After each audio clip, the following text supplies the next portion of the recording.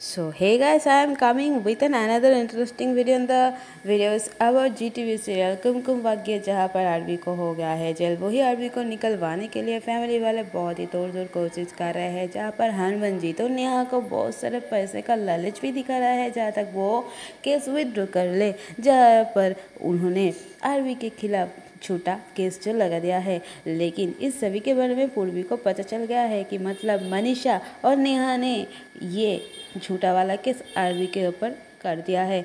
और वही पूर्वी को सारे सच्चे पता चल गया है। वो फैमिली वालों को भी शायद थोड़ा सा डाउट भी कर रहे हैं, जो बता भी देते हैं। अभी देखते हैं क्या ये फैमिली वाले आरवी को जेल से निकल पाएगा या फिर और क्या नया ट्विस्ट आएँगे। Guys share thoughts in comment section till